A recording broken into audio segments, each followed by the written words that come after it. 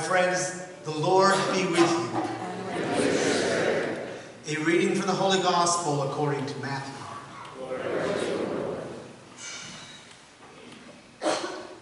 Jesus said to his disciples, You have heard that it was said, an eye for an eye, and a tooth for a tooth. But I say to you, offer no resistance to the one who is evil. When someone strikes you on your right cheek, turn the other as well. If anyone wants to go to law with you over your tunic, hand over your cloak as well. Should anyone press you into service for one mile, go for two miles. Give to the one who asks of you. Do not turn your back on the one who wants to borrow. You have heard that it was said, You shall love your neighbor and hate your enemy. But I say to you, love your enemies and pray for those who persecute you, that you may be children of your heavenly Father.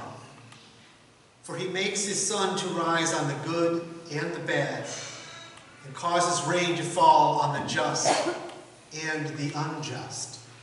For if you love those who love you, what recompense will you have? Do not the tax collectors do the same? And if you greet your brothers only, what is unusual about that? Do not the pagans do the same?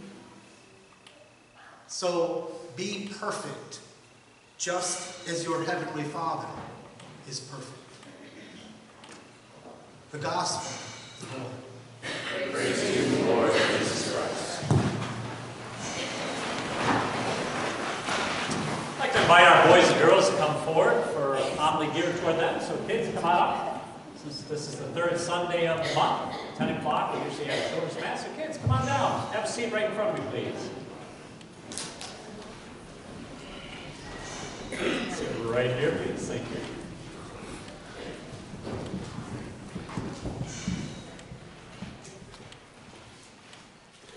Okay, good morning. Good to see you here. Your bright sunshiny faces warm my heart.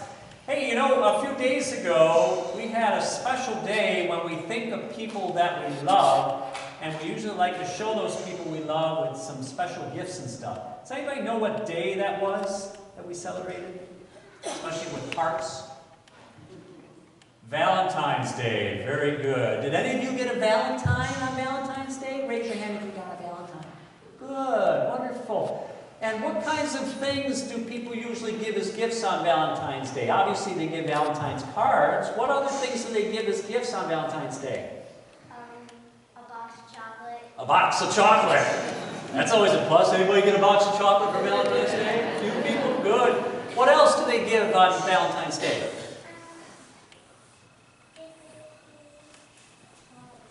Toys? Okay. Wonderful. Did you get any toys for Valentine's Day? Wonderful. Good. What other things do they like to give on Valentine's Day? Especially a husband to their wife. Yes.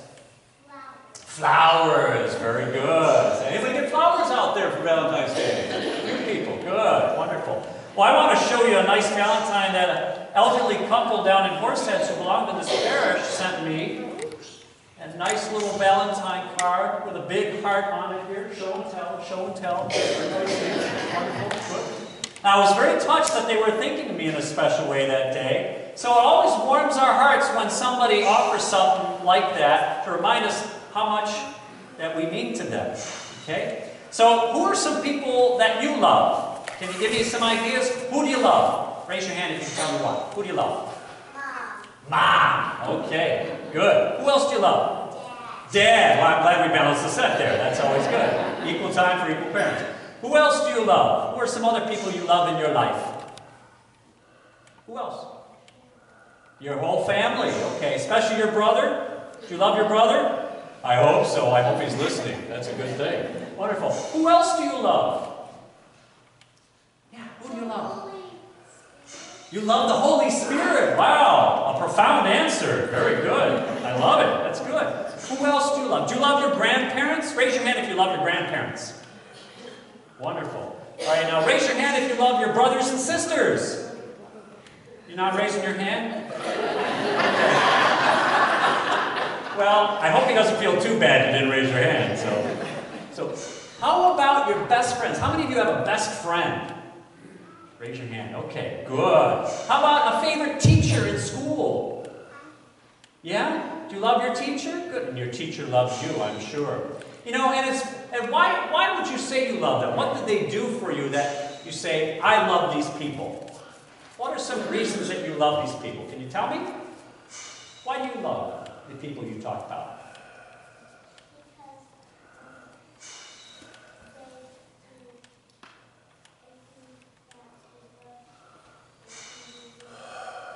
They do good things for you, don't they? Yeah, that's a good thing. What's another reason that you love them?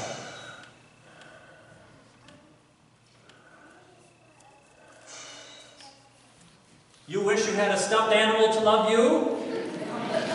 Well, mom, dad will have to arrange that. Uh, they don't, she doesn't already have one, so that's a good thing. Well, thank you. Yes, it's nice to kind of have something to cuddle close to you and everything like that. Right. So we usually love people because they make us feel good.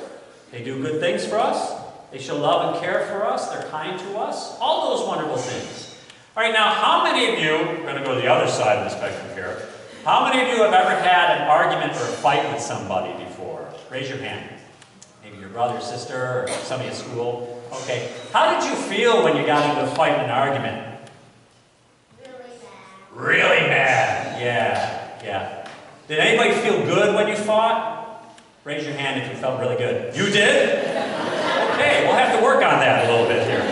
Very much. So, usually when we fight, we don't feel too good, do we? No. It makes us mad, it makes the other person mad, everybody feels miserable in the process. Now, what does Jesus say about loving people who don't like you or hate you? Should we hate them back? No. No, that's not right. Why? Why should we love them? They don't treat us good. Why not hate them right back? Maybe you'll make us feel good. Why should we do what Jesus says? And love those who hate us? What do you think about that? That's a hard one, isn't it? Yeah. Why do you think? Why should we love people who hate us? Can you tell me? You don't know? Okay. Well, let me give you a couple ideas. Does God love every single person in the world? Right. Does God always like the things we do? No. Sometimes we do some pretty bad things, right? But God still loves us, right? There's a difference. So when we love other people who may not like us or even hate us, we're kind of a sign of how God loves everybody, and that's how we're to behave too, right? And so we're going to be hopefully setting good examples of showing how important it is to love people who may be nasty to us, say nasty things to us, get into arguments with us, push us around, maybe even hit us. And we're showing them how to be Jesus by loving them back, even when they do all those things. Okay? So those are very important things. And who knows, if you're kind to those people, you may even turn that enemy into a friend.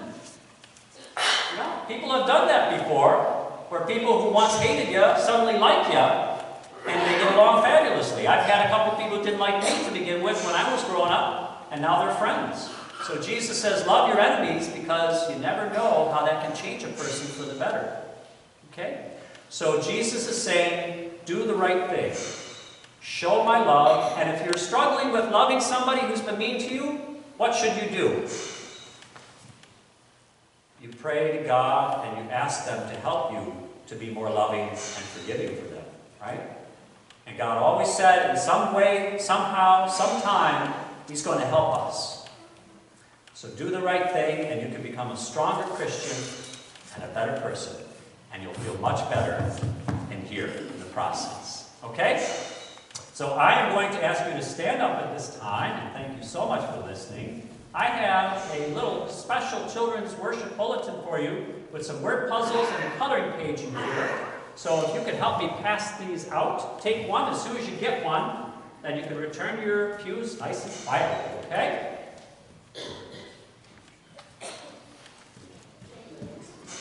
You, and I'll take the extras, thank you very much. Sweetheart, did you get one? Here you go. She's handing you one right there. There you go. Thank you very much.